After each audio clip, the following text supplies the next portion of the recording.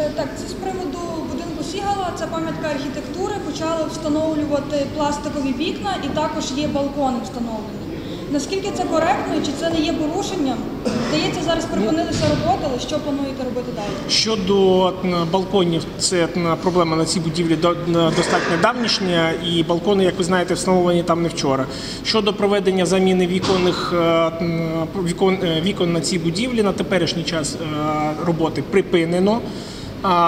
Звісно, ми будемо з'ясовувати, чому підрядник почав їх е, на вихідних і чи має він всю належну документацію.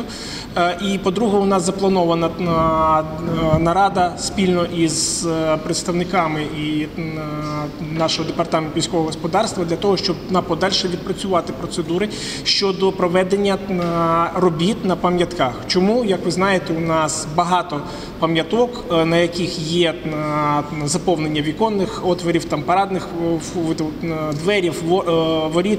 Вони все є е, цінними елементами міського дизайну. На деяких вони охороняються згідно документації облікової, на деяких вони е, не прописані як об'єкт охорони, але так чи інакше, для того, щоб проводити там роботи, необхідно мати всю належну документацію. Е, Якщо такої документації не, не буде, то звісно це вважається правопорушенням і е, є адмінний штраф для е, юридичних і фізичних осіб. Щодо конкретно цих адрес, доки ми не з'ясуємо подальшу долю цих вікон, і знов таки ми повинні враховувати, що ці вікна знаходяться в аварійному стані. І мешканці е, будівлі подали в законному порядку від е, заявку на заміну цих вікон для того, щоб е, їм було комфортніше проживати. Звісно, ми повинні враховувати і це також. Яким чином проводити цю заміну, або вони ці сучасні вікна повинні бути там виготовлені з таких самих матеріалів, тобто з деревини. Це звісно буде здорожчувати це все. Чи повинні вони відтворювати повністю, хоча б з пластику, але відтворювати повністю е, форму старовинних вікон? Це також велика е, проблема. Все це ми будемо обговорювати на нарадах і знов таки е, будемо е, спостерігати за тим, щоб це такі роботи відбувалися по процедурі.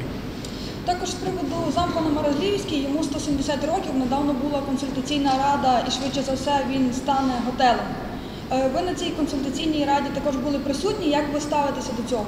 Ну, я чиновник, я не можу особисто ставитись до чого. Згідно е, пам'яткоохоронного законодавства, процедура на теперішній момент е, витримана. Тобто е, власник подав проект пристосування, і якщо ми вбачаємо в цьому друге життя для пам'ятки. І знов таки остаточно, як ви знаєте, не вирішено це питання. Тільки після того, як ми всі потрапимо на, цей об'єкт, буде знов таки. Побачимо власне на власні очі, яким чином виглядає він зараз, що саме збереглося, що саме не збереглося.